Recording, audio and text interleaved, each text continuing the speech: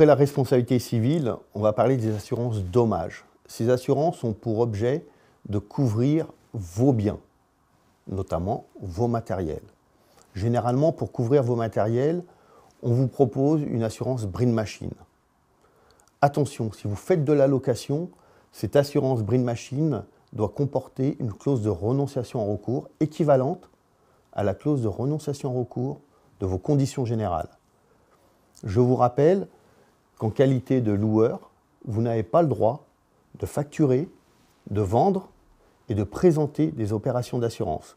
C'est pour ça que le terme renonciation en recours est utilisé dans vos documents contractuels.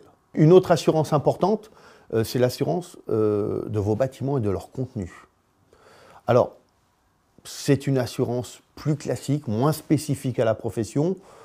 Ce qu'il est conseillé de regarder quand même, c'est au niveau du vol. Euh, généralement, dans ces contrats, il vous est fait obligation de moyens de protection.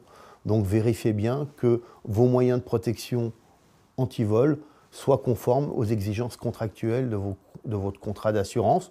En matière d'incendie également, euh, la vérification électrique est une obligation légale, je vous rappelle, annuelle.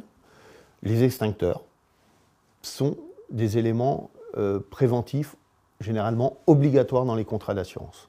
Après l'assurance de vos matériels, euh, il y a l'assurance également de vos bâtiments et de leur contenu. Alors, moi, je vous conseille euh, de vérifier les obligations qui vous sont faites en matière de prévention, que ce soit en matière de prévention incendie, avec les vérifications annuelles périodiques d'électricité, vérification annuelle périodique euh, des extincteurs.